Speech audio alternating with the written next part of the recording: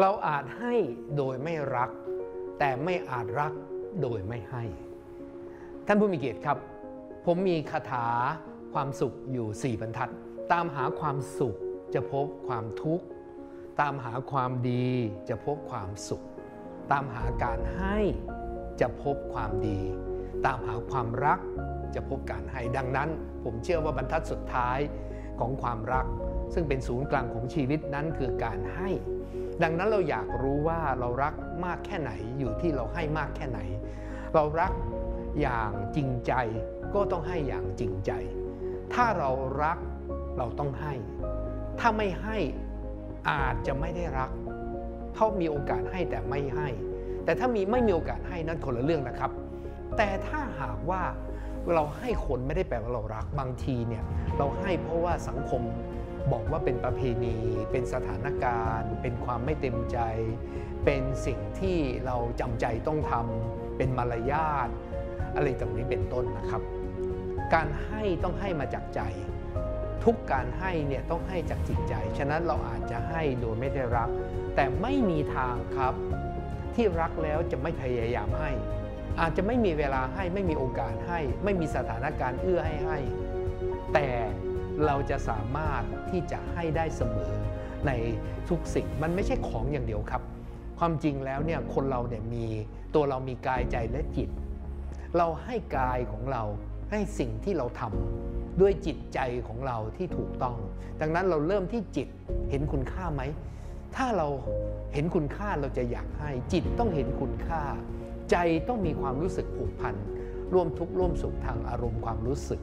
และกายนั้นสิ่งแสดงออกทางกายก็คือ 3 T ของผม time เวลา talents คือสมรรถนะความสามารถ treasure คือทรัพย์สินคาร นี่คือสิ่งที่เราแจกออกไปให้ออกไป คือการแสดงออกจากภายนอกให้เห็น มนุษย์เราอยู่ในใจเราอาจจะมองไม่เห็น แต่ที่แสดงภายนอกจะเห็น แน่นอนครับคนเรามีเวลาไม่เท่ากัน มีความสามารถไม่เท่ากัน มีทรัพย์สินขานไม่เท่ากัน แต่เท่าที่เรามีเราให้ออกไปเป็นสัดส่วน ตามหน้าที่บทบาทที่เราต้องเจือจานเอาสามทีไปแจกไว้ในหลายบริบทมากมาย นั่นแสดงถึงจิตใจของเราที่อยากให้ท่านผู้มีเกียรติครับ คนที่มีเป้าหมาย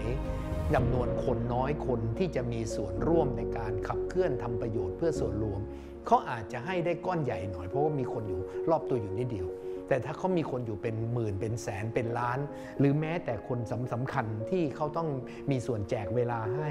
พื่อทำให้งานแห่งคุณค่าชีวิตเกิดขึ้น เขาอาจจะให้เวลาเราไม่เยอะแต่จริงเยอะแล้ว เมื่อเทียบกับ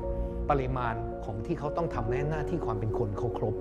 ฉะนั้นการให้เวลาไม่ได้นับด้วยกี่นาที แต่คุณภาพเวลามาด้วยใจ และตามหน้าที่บริบทของแต่ละคนไม่เหมือนกัน คนว่างงานเนี่ยให้เวลาได้เยอะไม่ได้แปลว่าเขาให้ความสำคัญเรามากกว่าคนที่ให้เวลาเราน้อย แต่เท่าที่มี ตามหน้าที่ที่มีนั้นได้ให้เยอะหรือยังได้ให้สัดส่วนตามเวลาหรือยังการให้ทรัพย์สินคานก็เหมือนกันครับ เราให้มากให้น้อยไม่ใช่อยู่ที่ให้ไปเท่าไหร่แต่เหลือเท่าไหร่ และมีสิ่งที่ต้องให้ที่มีผลต่อเป้าหมาย วิสัยทัศน์อุดมการชีวิตเนี่ยเขาต้องไปให้มากเท่าไหร่ในที่ต่างๆ เพื่อทำให้เป้าหมายชีวิตสำเร็จ ดังนั้นเขาให้เรานั้นเป็นสัดส่วนของสิ่งที่มีคุณค่าต่อชีวิต ดังนั้น เราจะให้เวลาให้ทรัพย์สินค่ะหรือให้ความสามารถก็เหมือนกัน คนเรามีความสามารถที่ต้องทำงานผ่านเวลา ทั้งทั้งเขาอยู่ส่วนตัวหรืออยู่ส่วนรวมกับคนอื่น อยู่กับเราหรืออยู่กับคนอื่น แต่เขาได้ให้ความสามารถช่วยเราแล้ว ไม่ใช่เฉพาะต่อหน้าแต่รับหลัง ดังนั้นการให้ความสามารถเพื่อ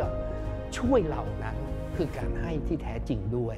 ดังนั้นการให้นั้นจะต้องสอดคล้อง นั่นคือต่อหน้าและรับหลัง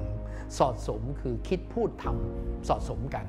สอดรับคือคงเส้นคงวาทั้งกาละและเทศะทุกที่ทุกเวลา ท่านผู้มีเกียรติครับ ผมว่าการให้เนี่ยเป็นสุดยอดแห่งพลังของชีวิตมนุษย์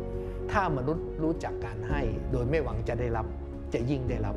ให้โดยหวังจะได้รับจะได้รับไม่เต็มที่ ให้โดยไม่หวังจะได้รับจะได้รับเต็มที่